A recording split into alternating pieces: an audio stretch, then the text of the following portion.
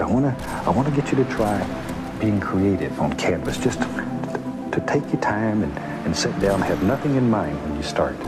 Just have a good feeling and be happy and, and love with life and the world and, and sit down and begin playing. And if you feel good about yourself and the world, it'll show in your painting and all these little things will happen.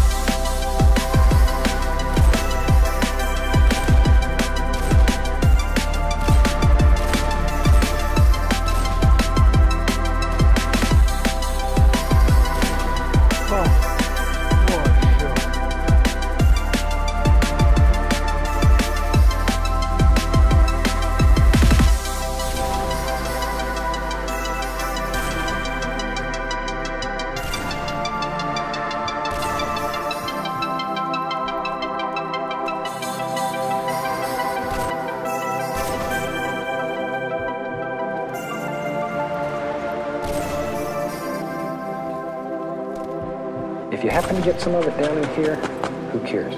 We'll end up turning that into reflections. We don't make mistakes. We have happy accidents. Just don't worry about it. Learn how to use what happens. That's the name of the game. It's enjoy. Really ought to enjoy what you do in life.